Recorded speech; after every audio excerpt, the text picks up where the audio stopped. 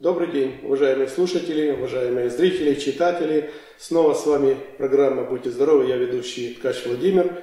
Сегодняшняя тема нашего разговора очень актуальна. Сейчас зима, холодно, очень много людей болеют, дети болеют, э, и эпидемия гриппа, и лор заболеваний. В связи с этим у нас сегодня в гостях Асача Татьяна Николаевна, ведущий специалист лор клиники Валерия, а также доцент кафедры специальной психологии и медицины Национального педагогического университета имени Драгоманова, кандидат педагогических наук. Добрый день. Добрый день. Я уже сказал, что очень много сейчас заболеваний.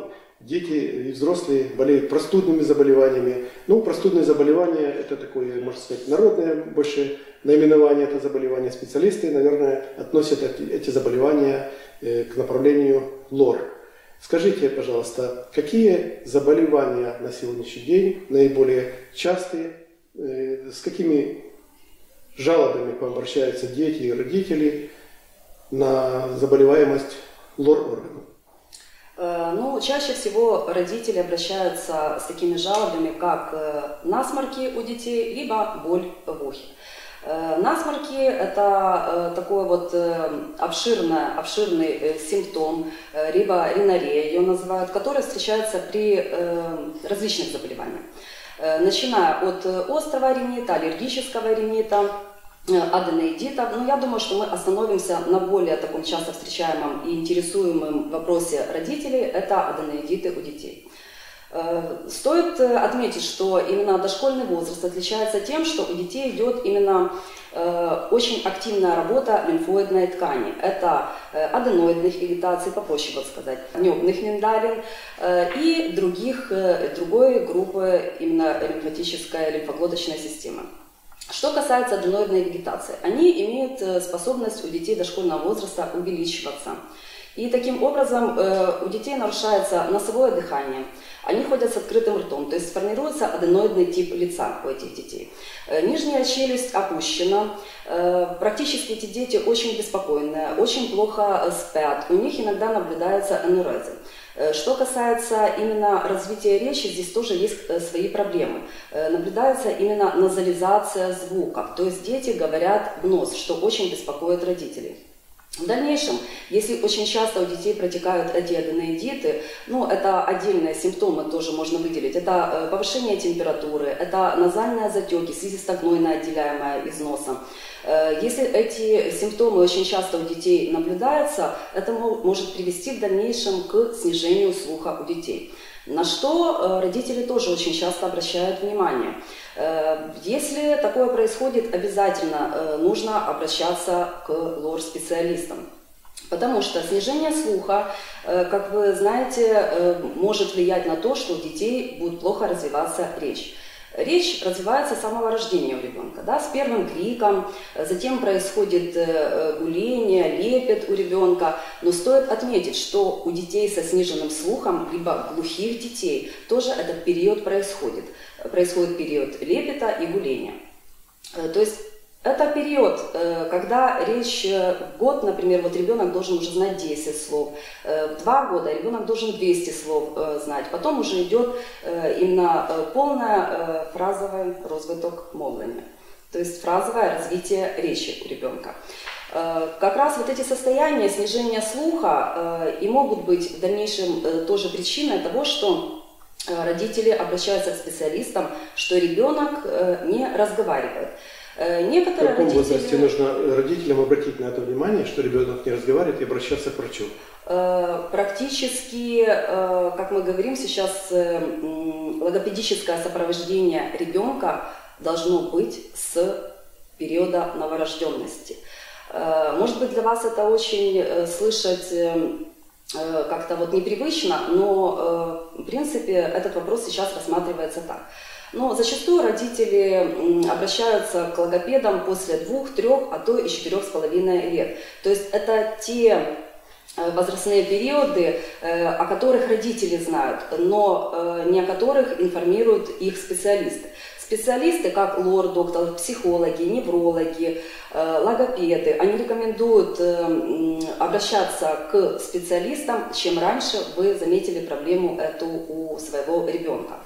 Поэтому это очень актуальная тема, на которую стоит обратить внимание, уважаемые родители и своевременно обращаться к специалистам. Потому что сейчас обследование ребенка, обследование, лечение, реабилитация должно быть, должна быть комплексной. Не должен только один специалист принимать участие в решении какой-либо проблемы. Скажите, пожалуйста, такой практический вопрос. Маленького ребенка заболело горло. Родители услышали жалобы или увидели покраснение горла. Что делать нужно в первую очередь? Ну, в первую очередь, естественно, это нужно обратиться к специалистам. Либо это э, педиатры, либо это семейные доктора, либо это отоларингологи, э, потому что боль в горле э, может быть различной этиологии, то есть причины. То есть это могут быть вирусные инфекции, бактериальные инфекции. Самое неприятное, это могут быть инородные тела, именно ротоглотки. Опять-таки отмечу, что дошкольный возраст отмечается тем, что дети очень любят себя познавать начиная ротовой полости, носовой полости, уха. И поэтому э, это тоже есть одна из проблем э, того, что где-то родители не досмотрели, либо это педагоги дошкольных, э, либо э, дошкольных учебных э, заведений. Поэтому, э, как вы спросили, вот э, боль в горле э, может быть также причиной и народного тела. Поэтому э, первое, э, родители, пожалуйста, обратитесь к специалистам, э, чтобы избежать э, неприятных последствий. Вы как раз затронули тему уже инородных тел. Хотел бы сказать, что в интернете очень много информации на эту тему, что э, находят в естественных полостях различные предметы. И сразу же такой вопрос, ну, неотложные действия при попадании каких-то предметов в полости детей, например, горло, нос и, и что еще? Э, ну, прежде всего хочу отметить, что, э, честно, специалисты инородных тел всегда очень боятся. Почему? Потому что э, какой-то неправильный шаг ребенка, неправильное действие мамы может привести к тому, что это инородное тело из носовой полости либо ротовой полости попадает в дыхательные пути и будут очень неприятные, могут быть неприятные последствия. Как родители могут заметить инородное тело, например, носовой полости? Как правило, дети э, засовывают в одну половину носика инородное тело.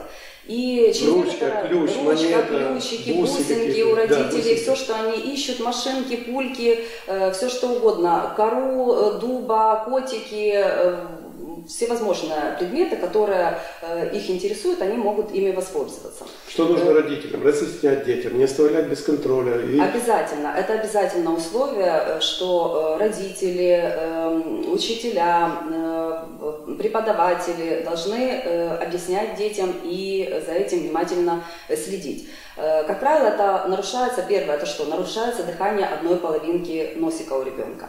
Э, в дальнейшем э, присоединяется гнойное выделение из носика с неприятным запахом. То есть это родители уже должны для себя поставить на заметку, что обязательно нужно обратиться к лор-специалисту, а не лечить обычный насморк в домашних условиях, как часто это родители делают.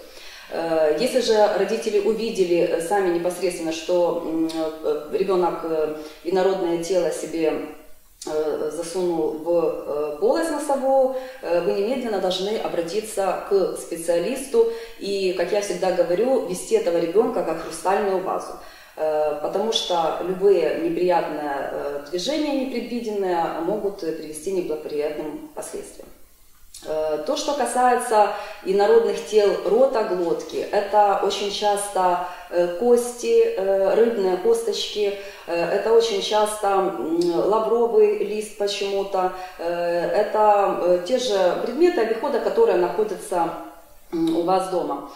Поэтому, если вы видите это инородное тело, попробуйте его не травматическим путем извлечь. Если же у вас это не получается, требуется немедленная госпитализация ребенка. А вопрос ватных палочек. Во всех магазинах продаются ватные палочки. А... Они больше вреда носят или пользу, когда ими пользуются? Э, категорично для маленьких детей против э, ушных палочек. Взрослые люди, пожалуйста, э, используйте, но очень аккуратно. Почему? Ничего против не имею брендов, которые делают эти палочки, но Э, дело в том, что очень часто э, именно это покрытие ватное, оно очень часто почему-то соскальзывает с этой э, пластиковой палочки и происходит э, травматизация внешнего слухового хода. Если на этом останавливаемся, это очень хорошо, но зачастую это идет и травматизация барабанной перепонки у детей. Э, и э, дети не только себе травмируют, они еще используют, ну не только чистят уши, они используют эти палочки еще с игровой целью. И вот последний, опять-таки, клинический случай был, когда ребенок э, смотрел мультик э, Ширак, да, вот есть вот мультики, у него такие вот большие уши. И ребенок взял эти две ушные палочки и засунул во внешние слуховые проходы. И при этом повернулся к маме и говорит, и говорит, мама, смотри, и хлопает себя по ушам. Естественно, ситуация требовала неотложной помощи, потому что травматизация была э, именно барабанные перепонки, э, задело и внутреннее ухо. Э, к сожалению, такие ситуации очень часто бывают. Поэтому для детей, особенно родителей новорожденных, пожалуйста, используйте ватные спонжики, турундочки для туалета ушек у маленьких детей. Э, у взрослых деток, если вы уверены, что э, вы хорошо зафиксируете ребенка, что ребенку не будет дискомфорта приносить то, что вы производите ему туалет э, внешнего слухового хода, тогда используйте, пожалуйста, но очень осторожно. Да, спасибо. Это очень важный совет и своевременный, я думаю, для наших слушателей. Будут благодарны они. А такой вопрос еще. Вы сказали, что развитие заболевания аденоидов влияет на задержку речи на задержку развития речи. А как э, можно диагностировать аденоиды и симптомы начинающиеся аденоида у детей? Эм, как можно диагностировать? Эм, диагностируют лор-доктор. Э, повторюсь, что когда у ребенка частые аденоидиты, аденоидит – это воспаление лимфоидной ткани носоглотки – Э, по новым параметрам э, и по новой классификации называют э, назофарингит. Ну, мы остановимся на старой классификации, которую знают родители, которым больше это на слуху заболевания.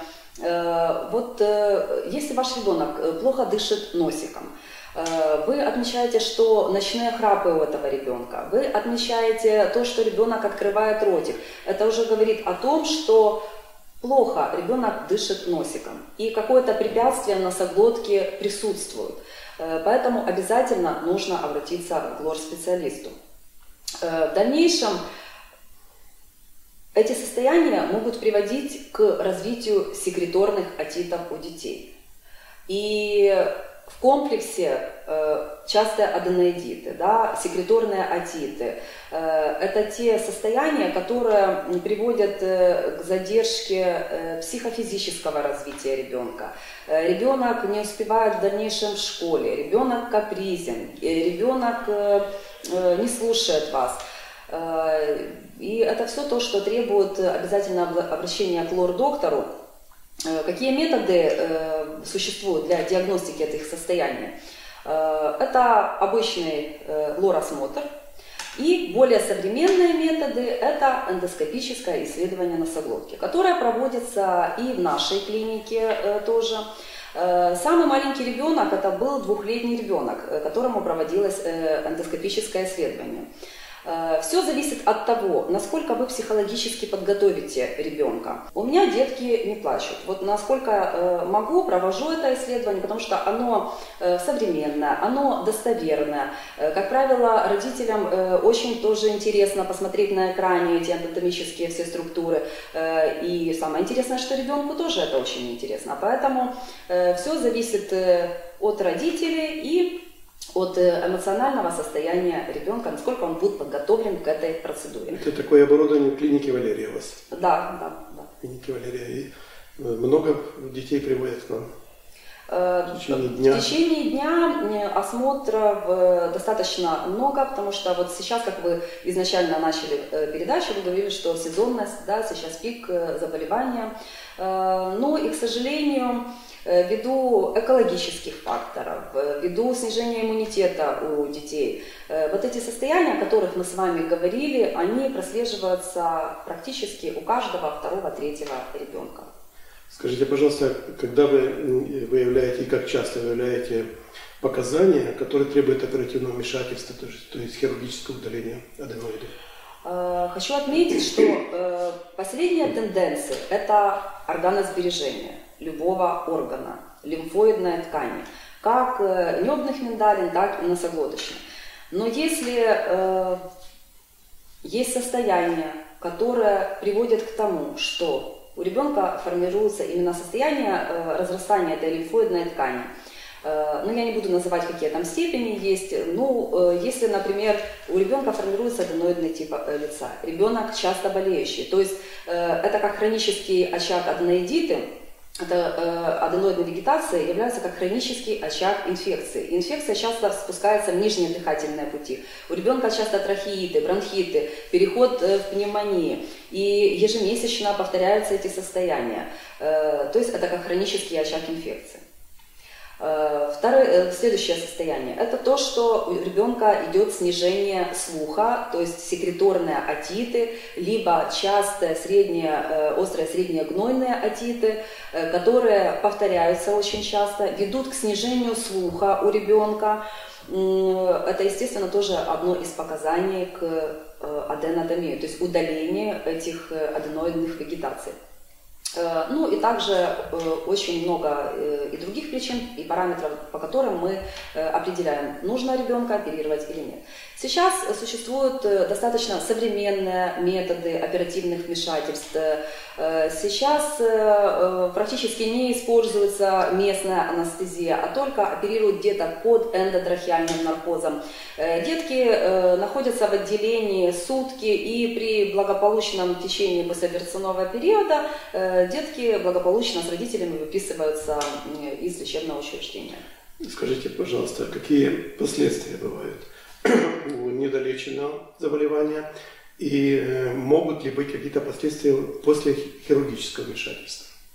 Э, последствия недолеченного заболевания – это переход в хроническую форму, Э, это то, что для родителей очень интересно, э, нестабильность эмоционального состояния ребенка, э, из-за того, что ребенок постоянно ходит с открытым ртом, да, это гипоксия головного мозга, это в дальнейшем страдают когнитивные функции ребенка, это неуспеваемость в школе и одна цепочка за другой постепенно выстраивается. То есть однозначно решение может быть положительное. Если есть вывод о том, что нужно оперативное вмешательство после обследования, обследования после, да, после обследования и другими докторами, и, совета с родителями, то нужно делать оперативное операцию, оперативное вмешательство, операцию.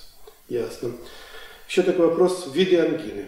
Фолликулярная ангина, опасность этого бактериального заболевания для детей, ну и как уберечься? Как вылечиться, как э, уберечься? Ангины – это достаточно часто распространенное инфекционное заболевание. Э, ангины есть различные, как вы сказали, э, по классификации. Фолликулярные, и лакунарные, и катаральные, некротические, всевозможные ангины есть.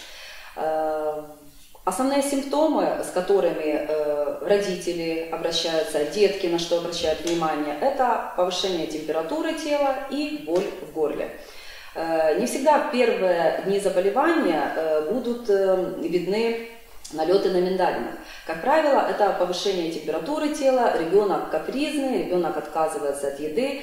Чем меньше ребенок по возрасту, тем тяжелее протекает данное заболевание. В данном случае самолечением не рекомендую заниматься, потому что очень много осложнений после перенесенной ангины.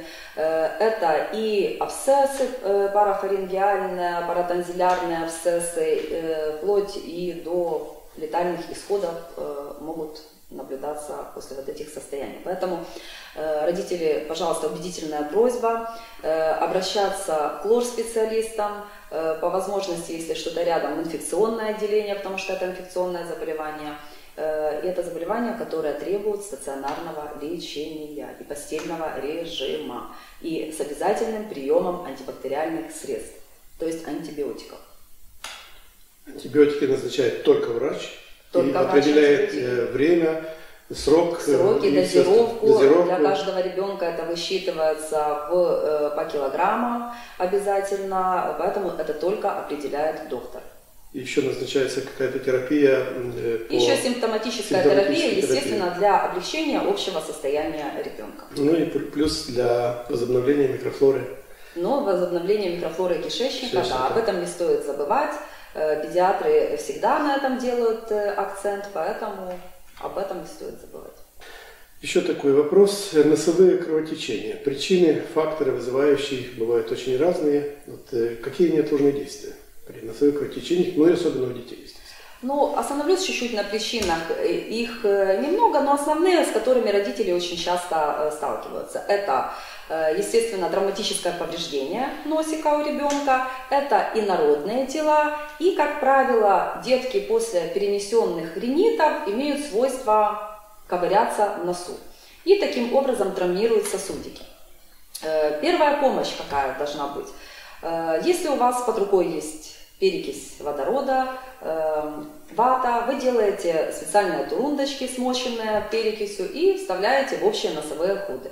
И при этом обязательно придавливаете крыло носа к перегородке. Я вам встречный вопрос задам. Вы тоже когда-то студентом были. Я думаю, что неотложную медицинскую помощь всегда тоже проходили. Как должна быть наклонена голова у ребенка при носовом кровотечении и у взрослого? Куда мы наклоняем? Ну, как правило, все говорят и советуют э, наклонить назад, но я думаю, что это неправильно. Голову нужно держать или прямо, или даже вниз. Правильно, голову наклоняем вниз, чтобы ребенок не заглатывал э, кровь э, в желудок и потом в дальнейшем не было э, позывов к рвоте. Э, поэтому голова обязательно вперед, вниз, наклонена. И если есть возможность холод, холод в области переносицы э, можно тоже. Это очень хороший вопрос, потому что в быту мы наблюдаем совершенно противоположное. Когда люди закрывают пальцами себе нос, чтобы не запачкать одежду, и таким образом э, голова, голова назад. прокидывается назад, и таким образом наносит себе еще больше вред, потому что кровь попадает внутрь, и я думаю, что это значительно хуже, чем было бы при таком Э, совете, как вы сказали, при... Ну, как правило, родителям не стоит э, этих состояний бояться. Это э, кровотечения не длительные. Э, если вы видите, что кровотечение не останавливается и вас это пугает, стоит э, обратиться за медицинской помощью в ближайшее медицинское учреждение, которое есть возле вас. Либо вызвать скорую помощь в клинике Валерия, которая всегда вам. Ну да, тем более, что могут быть и другие факторы, и травмирующего характера, и там те же инородные тела. Инородные тела, которые... Поэтому нужно исключить и эти факторы. А не пользоваться только там ватными тампончиками да. или палочками. Вопрос такой еще, заболевание уха, наружного, среднего, внутреннего, ну, наверное, наиболее такое актуальное для, для лора, это заболевание внутреннего уха, или отиты, гнойные отиты, симптомы, диагностика, лечение, и как, как избежать таких заболеваний? Ну, я вас чуть-чуть поправлю, не внутреннего уха, а среднего, больше среднего. часто, да, да, среднего уха. Ну, э, это частое заболевание, которое у деток и у взрослых присутствует. Э, причины э, разнообразные. Э, основной симптом – это первая бессонная ночь ребенка. Э, как правило, иногда э, без повышения температуры, либо температура субфибрильная на начальных стадиях, но первая бессонная ночь, это говорит о том, уважаемые родители, что вам необходимо обратиться к лор-врачу на прием. Э, потому что последствия отита очень чреваты, головной мозг Мозг э, очень близко расположен к среднему уху, поэтому осложнения могут быть всевозможные. Э, всегда мы говорим, лучший случай, когда гной прорывает во внешний слуховой проход и он выходит, худший случай, когда гной может попасть в э, структуры головного мозга. И последствия будут не очень приятными. Какие еще могут наблюдаться симптомы? Э, это повышение температуры. Это если маленький ребенок, он отказывается от груди. Это один из симптомов, на которые нужно обратить э, внимание родителям, у которых новорожденные детки и мама кормит грудью. Э, он сразу в первые же первые часы ребенок отказывается от груди. Ребенок будет запрокидывать голову, будет кричать. У него могут быть также какие-то симптомы, э, которые вас тоже будут настораживать, которые, э, ну, не присутствовали до этого у ребенка. Но, как правило, малыши э, не говорят о своих э, болях, которые присутствуют у них, об этих симптомах. Они это как-то выражают. Крик, плач, беспокойство. Это что касается маленьких деток. Детки, которые дошкольного возраста, они вам скажут, что у них болит ушко. И поэтому вы стараетесь обратиться чем быстрее на прием к специалисту. Спасибо. Ну что, дорогие слушатели, вопрос лор заболеваний обширный. Я думаю, что рамки нашей передачи не позволяют э, обсудить все вопросы, но некоторые вопросы актуальные и, надеемся, интересные для вас мы обсудили. Получили ответы от нашей гости Асачи Татьяны Николаевны, врача высшей категории, лор-специалиста клиники Валерия, за что мы вам очень благодарны, Татьяна Николаевна. И если у слушателей будут вопросы, я думаю, что они будут писать, обращаться, и мы продолжим эту беседу на наиболее актуальные темы. Вам спасибо большое, спасибо нашим слушателям. С вами была передача «Будьте здоровы». Я, ведущий Владимир Ткач. До новых встреч.